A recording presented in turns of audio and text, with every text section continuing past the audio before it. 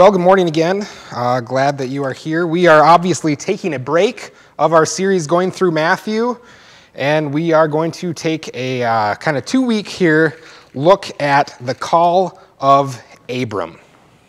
Okay, this week I'm looking at the beginning of this call when the call of from, comes from God to Abram. And next week, Pastor Ben from Menominee will actually be here talking about the fulfillment of that call. So, starting right in Genesis 12, verse 1, it says, Now the Lord had said to Abram. So, Jason already read our passage, and it's a familiar one where we see the call of God come from God to Abram. So, we start here with, Here is what God said. It says, Here's what God said, and pay careful attention as I read what God said and see if it sounds familiar to you. And not because Jason read it like 15 minutes ago, but because this is the same call that has gone through and echoed through Christian history to anyone who would enter into a life of faith seeking to obey God's will. It's the same call that we see recorded in Scripture, and it's the same call that you have likely received yourself. And if you haven't, then for the next 45 minutes or so, here it is. Here it is. So, what is this call? It says, Get out of your country, from your family, from your father's house, to a land that I will show you. So it says, Get out of your land, leave your home, leave your family, and go where I tell you. Leave all that you've known, all that you've trusted in, all that you've been counting on for the rest of your life up until this point, all that you have used to make yourself comfortable, leave all that and go where I tell you. Stop working to fulfill your own will and start working to fulfill mine. Stop living for your own purposes and start living for mine. Work to fulfill my will, not your own. No longer do you go where you please, when you please, but you're going to go where I tell you, when I tell you. That's the call that Abram receives. Okay, just to clear things up in case, in case we slip up along the way, Abram will in future chapters have his name changed to Abraham is the same guy. Just to clarify this for you, because I can, without a doubt, say that at some point we'll get this mixed up. But Abram here gets this call from God to leave everything behind. And this is a terrifying call. Terrifying. If this doesn't sound terrifying to you, then I don't think you understand the call that God has for you. To leave everything that you've known, everything that is yours, everything that you've clung to up until this point, everything that you fought for, and instead to seek Him, to cling to Him, and to fight for Him. This is a terrifying call to abandon all that is yours and to seek God. And yet, that's the call of God. It was the call that Abram received. In Joshua 24, verse, verse 2, it says, Thus says the Lord, the God of Israel, long ago your fathers lived beyond the Euphrates Terah, the father of Abraham and of Nahor, and they served other gods. So God found Abram busy about his own life, busy far from God's will, actually serving other gods with false idols. So he's living an ungodly life for his own pursuit and his own purposes. And his call was leave that behind and seek after the will that I have for you. Leave everything that you've known and seek after something new. And that's the same call that any individual who has found themselves in the will of God, answering the call of God, has received. Just a few chapters earlier than this, we saw that in the life of Noah. Okay? We can't say for sure, but it's widely believed that Noah was a farmer before he built an ark. And um, although we can't say for sure, I can, uh, with greater degree of confidence, say that he probably wasn't a boat builder and if he was a boat builder, very unlikely that he spent time, you know, building arks for some superstorms that were going to occur decades in the future. Okay, this isn't what he did. Yeah, God comes and he says, Stop growing your crops, stop worrying about that, stop trusting in the crops that you grow to eat, and instead you're going to find your security in obedience to me. You're going to go build a boat now. Leave what you were doing, I have something new for you. Think of Moses later on once we get to the book of Exodus. After he fled Egypt, he goes to Midian, and then think of the time after he's met Jethro and he's been married, he's comfortable. He's got a decent life. He's married, everything's going well. And the Bible says that as he tended the flock, so he's taking care of the sheep, at that point, God interrupted him. At that point, God said, Okay, I've got something for you to do. Remember Egypt, back where you were, where remember both the Egyptians and the Jews, uh, they weren't too happy with Moses at this point. Remember those guys? You need to go back there. I know you're comfortable. I know things are working out for you right now, but you need to go where I tell you. Then think of the disciples, New Testament. Peter, Andrew, James, and John, they were all fishermen. They all had business. They had fishing gear. They had boats. And I bet they were good at it. And then Jesus comes along and he says, Stop fishing for fish. Stop fishing for food. Stop fishing to take care of yourself. Instead, come and fish for men, and I will take care of you. They were busy, they had a plan. God interrupted and said, Come, I have something else for you now. Think about Paul. Paul was comfortably established in the religious elite. Okay, he was comfortable where he was. People respected him. And then God comes, and not only does he say, I have something else for you to do, he calls Paul to do a complete 180. He says, Remember those people that you were trying to stop? Those people that you were working so hard to try to kill? Yeah, those are good guys. You should go be a part of them. And if that's not enough, think of Jesus himself. Jesus is in heaven. It's perfect. Everything's going good for him. And then the time comes, the call of God comes, so to speak, and says, It's time. It's time for you to go to earth. That's the call of God. That's how God works. He, he finds people who are seeking their own plans, seeking their own desires, and He says, Enough of that. Enough of living for your own pursuits, enough of your own will. I have something for you. I have something for you.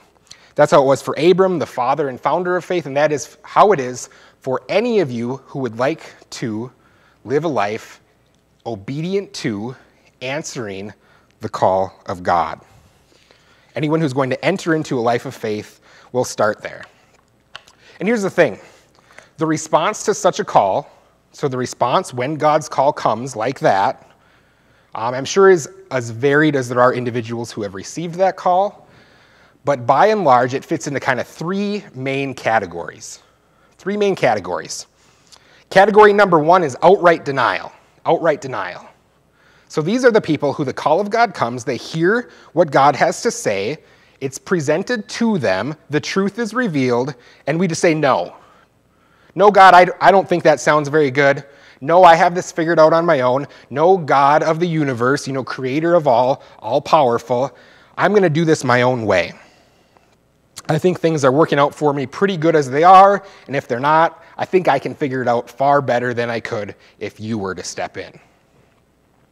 Now, this response many times works itself out in those who would act, like actively deny the existence of God.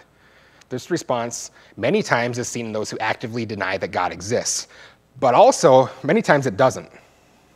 It also happens in those who would deny God the ability to exercise the authority that he possesses who says, You know, God, uh, I, I believe you're there.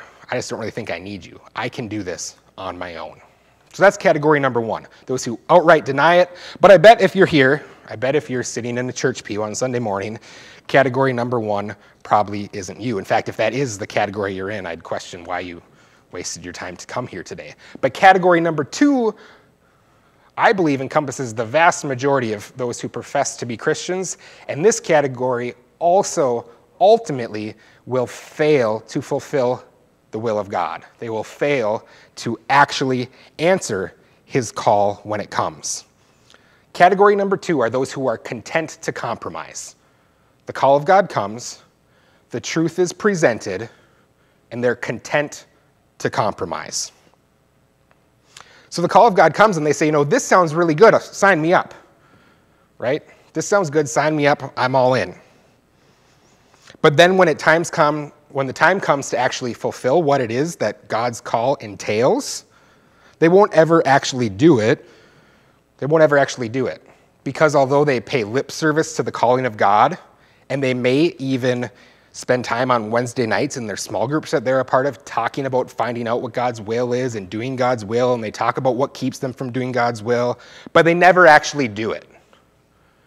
They'll never actually answer the call. Because all the while, when they're trying to look spiritual like they're doing this and they signed up for it, they are clinging in desperation, sometimes secretly, sometimes not so secretly, to their own will, to their own desires, to their own plans. They're unwilling to let go of that to actually go where God's calling would lead. And I'll tell you that as a pastor, as someone who has seen this time after time, there's very few things that are more disgusting than someone who's trying to play that game. Someone who's trying to say, I want the will of God, I'm listening to the call of God, trying to half heartedly answer the call of God, when all the while they're really not. They're really seeking after their own will. They've made a calling for themselves, and they're unwilling to let go of that calling in order to answer the call of God with complete commitment. They're content to compromise. And just so you know, instead of that leading to the best of both worlds, which is what I think we're hoping for, like, okay, I'm going to be in God's will and it's going to be great and He's going to bless me, and I'm also going to be able to chase after everything I've always wanted. Instead of getting the best of both, I'll tell you, you end up with the worst of both. Okay?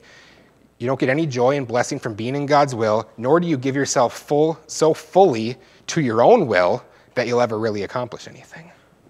So you're content to compromise and you receive nothing. And all the while, when we see those people who are playing that game, I want to cry out like Elijah did, 1 Kings chapter 18. He says, How long will you go limping between two different opinions? If the Lord is God, follow him, but if Baal, then follow him. How long are you going to go back and forth? How long are you going to pretend that you can have both ways? If God is God, follow him. If not, then stop pretending to.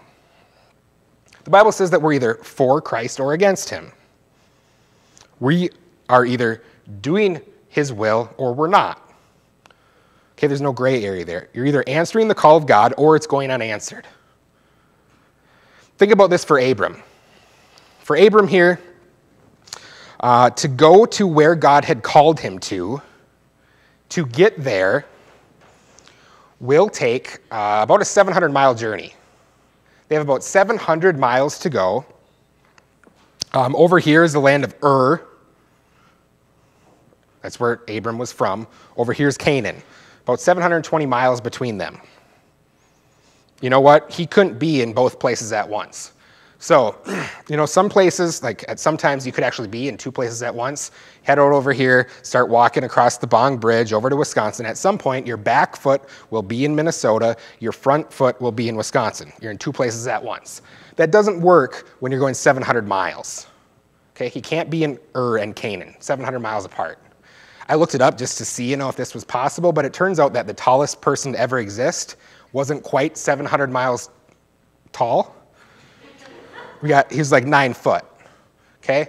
So there's no way, I don't care how far you stretch your legs, you're not going to be in Ur and Canaan at the same time. It just doesn't work that way. He had either left his land or he hadn't. He was either where God told him to be or he wasn't. He had either left his family or he didn't.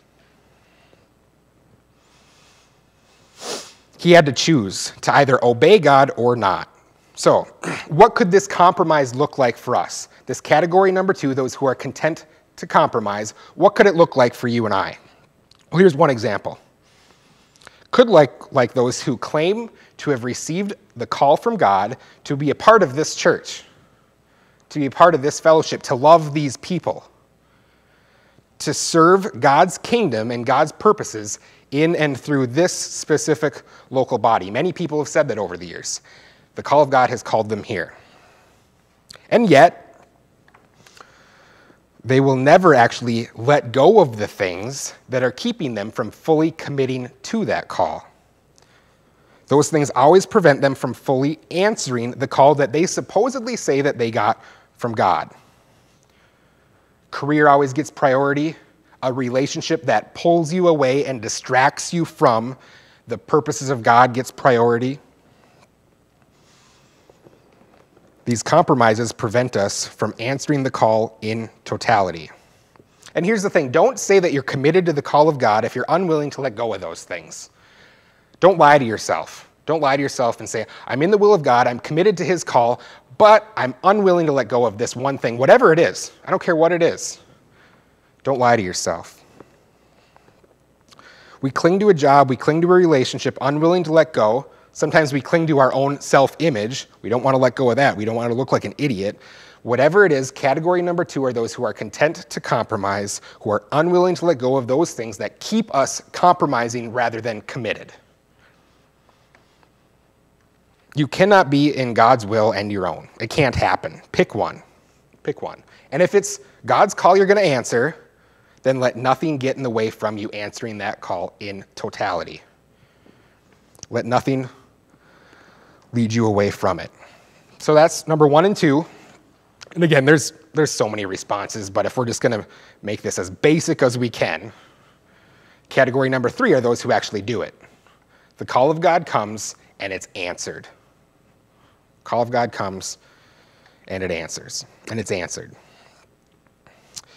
And that answer goes beyond any kind of just simple verbal assent or mental assent with, like, yeah, I'm going to do this. That sounds great. No, it actually goes to our actions. We actually answer the call. It might look something like this God, that sounds terrifying. The call of God comes, and you say, God, that, that kind of freaks me out. If I'm honest, I'd really rather not. I'd rather not do it. But God, if this is what you are calling to, me to, if this is what you want from me, I'm all in. And I'm going to let nothing get in the way. And God, I pray that you'll be with me because I certainly don't want to try and do this on my own. I certainly don't want to try and answer the call of God on my own. So the call of God comes to Abram, but before it's really time for him to make a decision, before he has to answer that call, God continues on and says in verse 2 I will make you a great nation. I will bless you. I will make your name great. You shall be a blessing. I will bless those who bless you. I will curse him who curses you. And in you all families of the earth will be blessed. So here are these seven great promises from God. Seven separate promises from God, great blessings. So God says, Yeah, I'm asking you to do this. I'm asking you to leave all that you know, all that makes you comfortable. I'm telling you to leave that behind, but you're not going alone. I'm going to be involved. I'll be there with you. And there are all kinds of beautiful truth here in these promises. Um, there's actually a whole series that just take one of these promises for each sermon. Uh, we're not going to do that. So there's, there's great truths here of God's blessing, His provision, His protection. Um, there's also the promise of the coming of Christ, and that is how all the families of the earth will be blessed. It's through Jesus, Abram's far off descendant. So there's all kinds of beautiful things here, but ultimately, um, when you read that, the only thing I'm trying to get out of here is, well, this will be awesome. This is going to be great. God's involved. So for you and I, I can't tell you what's going to happen. I have no idea if you answer the call of God and you say, Yes, I'm going to do it. I'm going to give up whatever it takes in order to fulfill this call, to answer your call. I don't know what's coming. I don't know what, what's in your future. I don't. But I can say that God will be involved. I can say that He will bless you. Luke 11, 28 Jesus says, But even more blessed are those who hear the word of God. Sorry, I missed a word. I want to add this word because it's an important one. But even more blessed are all who hear the word of God. Just in case you thought this didn't include you and I, all, all of us. Even more blessed are all who hear the word of God and put it into practice. So Jesus says, you will be blessed if you hear God's call and you do it. Now, how? No idea.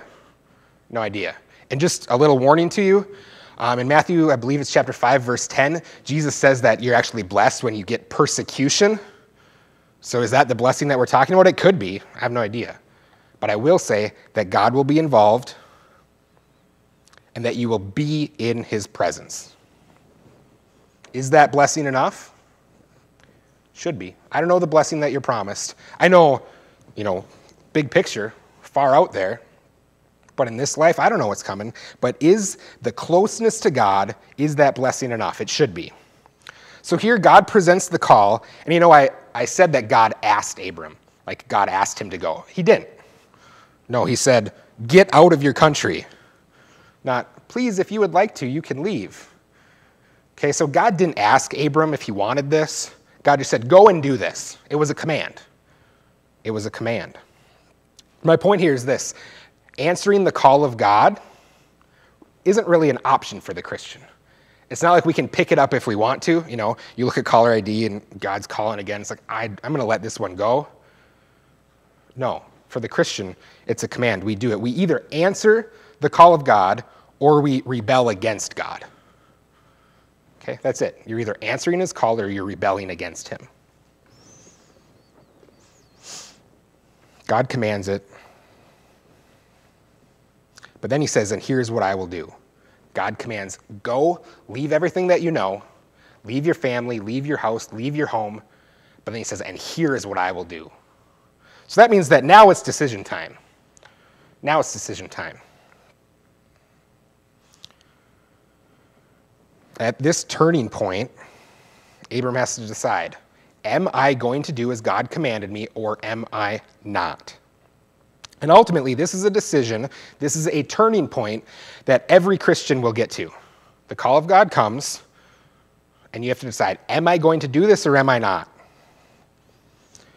Am I going to believe God in faith, or am I going to not believe God in unbelief and disobedience?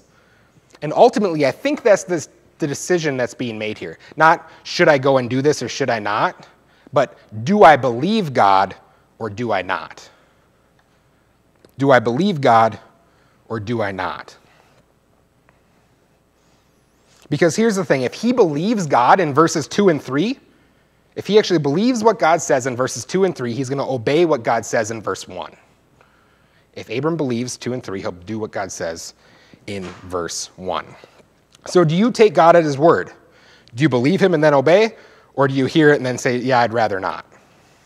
Yeah, I don't really think I can trust you, God. Do you believe God when he says in Matthew 6:33 to seek first the kingdom of God and his purposes, his righteousness, and then all things will be added to you? Because if so, then you'll do what he says quickly, completely, and without complaining. Do you believe God when he says that your satisfaction will be found in a right relationship with him? Because if you do, then when the call of God comes and it's going to cost you the relationships around you, it's no problem. No problem. Because you believe what God said. So ultimately, this issue of obedience comes down to an issue of belief. Answering the call of God comes to a belief issue. Do I actually have faith in God? Do I really believe Him? So it's decision time. Do you take God at his word or do you not? Verse 4 So Abram departed as the Lord had spoken to him. So he took him at his word. He departed. Good. He answered the call. And Lot went with him. Wait a second. You guys remember back in verse 1? It says, Get out of your country from your family. And here's his nephew Lot's with them. What's up with that? What's up with that? Well, I will say people are divided on this. There are many people who would say, oh, Abram wasn't in the wrong here because, you know, Abram was supposed to have many children, so obviously he was supposed to take his wife with him, so why not maybe his nephew as well? Um, and they also point out that it says that Lot went with him. Well, Lot was an adult. You know, Abram can't, like, tie him up to a tree and keep him from following. Well, maybe he could have. Um, so that could be the case, but I would lean towards the fact that here was actually Abram content to compromise where he's going to go where God told him to go, but he was going to try and do it the way that he wanted. And that's kind of a wide held belief, and that comes from looking at Lot. If you're familiar with the rest of the story, Lot does not turn out to be a blessing to Abram. Okay? The, the joke, like, like as you're studying for this, you can't go by uh, anyone's writing without them including this, is that Lot just brought a lot of problems, and everyone thinks they're really clever when they say that. But it's true. He brought incredible inconvenience, he brought incredible difficulty. He wasn't a blessing to Abram. So here he was. God just made these great promises, and he says, You know, I'll go where you told me to go. I almost believe you, but I'm going to do it my own way. I'm going to, I'm going to take a little bit of what you told me not to do. And how often is this you and I? Where we obey God like 95%, but there's like 5% where we're just not quite willing to give that up. We're not quite willing to obey to the degree that God commands. And again, you read through Genesis, you'll see that um, it did lead to some problems. But nonetheless, Abram did go where God had commanded. He did. And he should get credit for that. Notice that God only said, Leave your country, leave what you knew, go to the land that I will show you. So he doesn't even say, This is the land that I have for you. This is what you can expect. He just says, Leave. So he gets this first step. Verse 5 Then Abram took Sarai, his wife, and Lot, and his brother's son, and all their possessions that they had gathered, and the people whom they had acquired in Haran, and they departed to go to the land of Canaan. So they came to the land of Canaan. Abram passed through the land to the place of Shechem, as far as the terebinth tree of Moreh, and the Canaanites were there in the land. So here, Abram's 75 years old, it says. He takes his wife, he takes his nephew, he takes everything that they own, pack it up, and they head out. Head out to where God had told them to go. To go to the land of Canaan, Shechem in particular.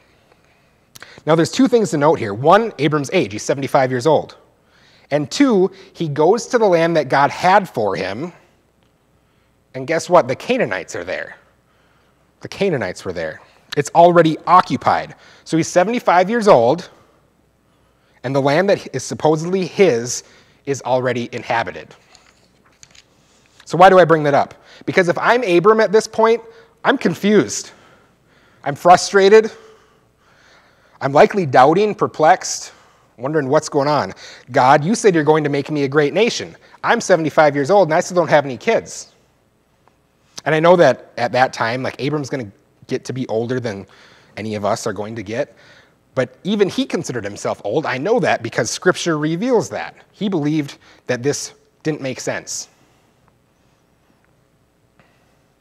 At this time, uh, his wife, Sarai, is 65 years old, so she's not far behind. She's not far behind. If I'm him, I'm confused. 75 years old with no children, so how is this going to work? God, you said this land was mine, but evidently it's not because there's these Canaanite guys and they seem to think that it's theirs.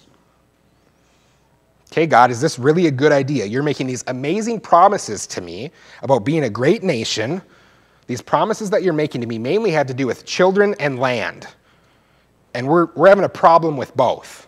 No children, and the land's not really mine. One pastor said this You know, there's people in the land, so here's the problems. There's people in the land, and there's no people in Sarai. Okay, so that's the problems. That's what doesn't seem to make sense. But God chose to work through a couple who had no earthly potential to accomplish the very thing he most wanted to accomplish. So think about that. A central part of this promise, central part of what I'm going to do for you is to have children. And in order to accomplish that end, I'm going to pick this couple in their older years who are past where they would think that they would have children and who have been unsuccessful in having children at this point, and the land that I'm going to hand to you is already held by someone else. So God's calling for you doesn't always make sense. Okay? Sometimes God's going to call you to something and you're going to say, I don't understand how this could be.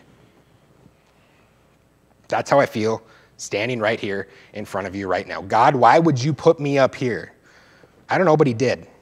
So sometimes His calling doesn't make sense. And if you're going to limit yourself to the understanding of God's calling for your life, to the worldly wisdom that you have, you're going to be disappointed.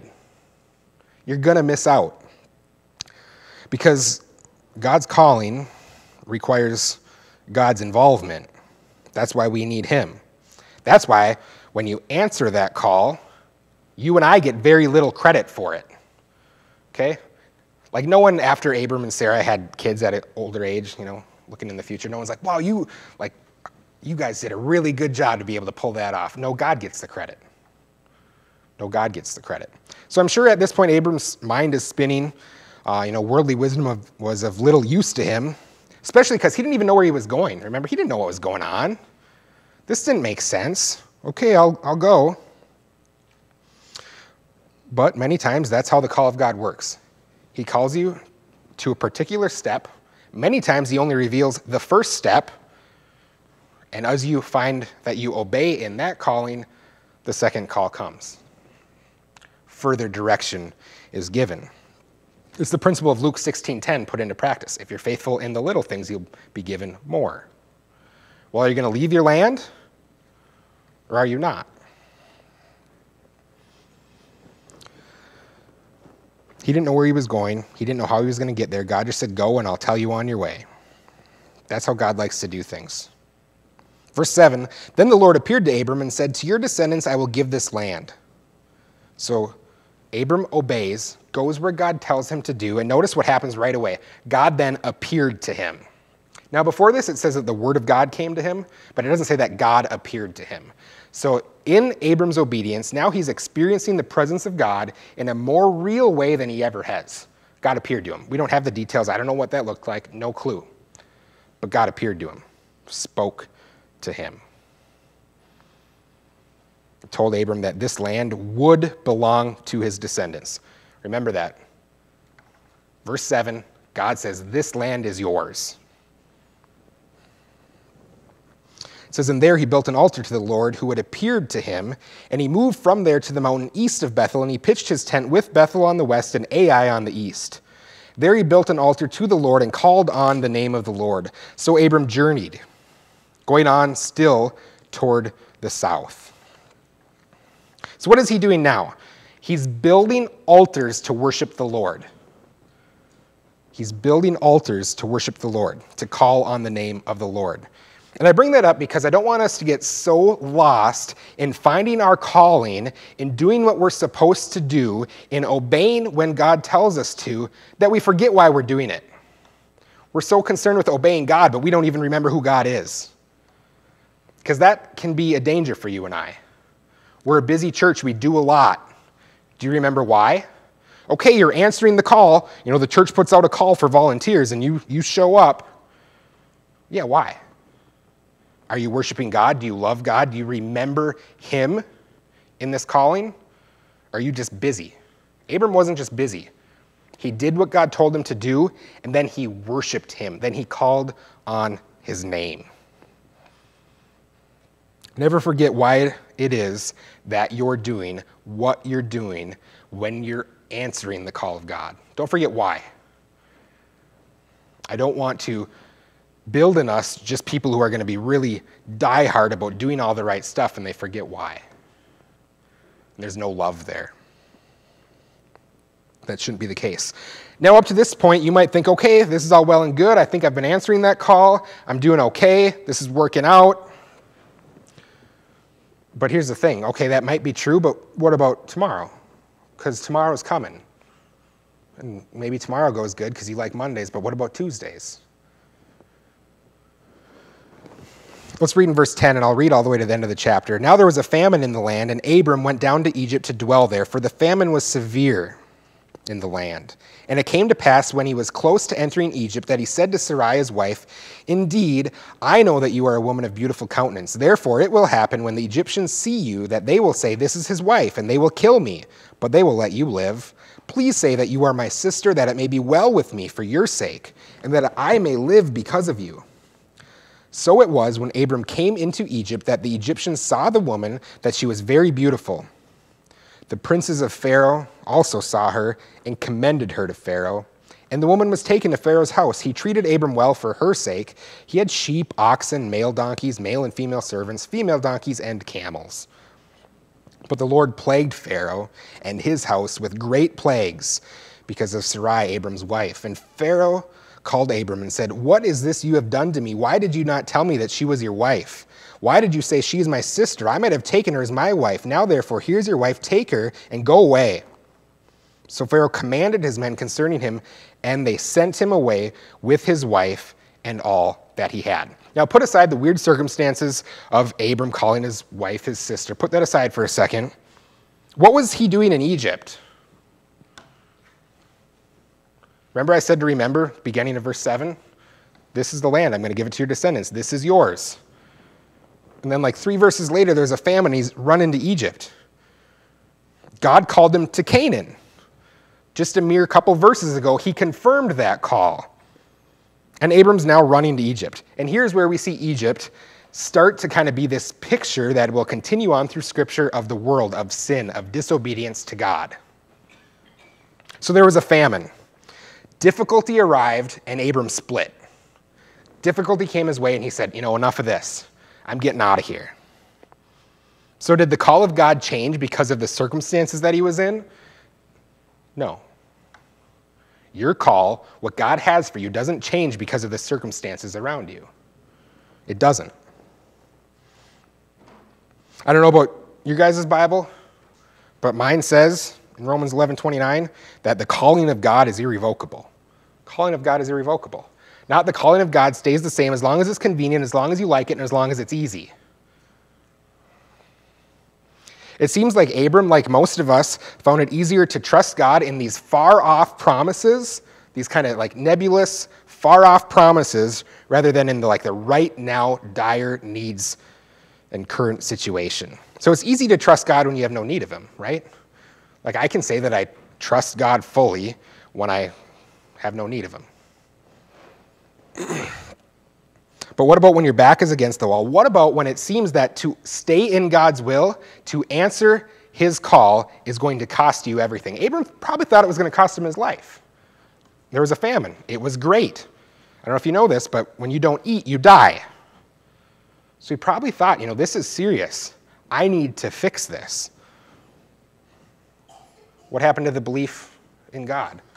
What happened to the faith that said, God, you told me to be here, so I'm going to stay, come what may? Are you going to remain in that call even when it's costly? Abram thought to answer God's call would cost him his life, so he ran. So he started out well, started out well, I mean, mostly well. Went to where he was supposed to be, but at the first sign of problem, it comes and he makes a run for it. Here's the thing if we want to rebel against God's calling, we will find an excuse to do so. Okay, there's always a famine that we can point to, right? Oh, you don't, you don't get it. The perfect job came my way, perfect guy came into my life, perfect girl came into my life. You don't understand. I had to. Like, there was no way, no way that I could stay where you wanted me, God.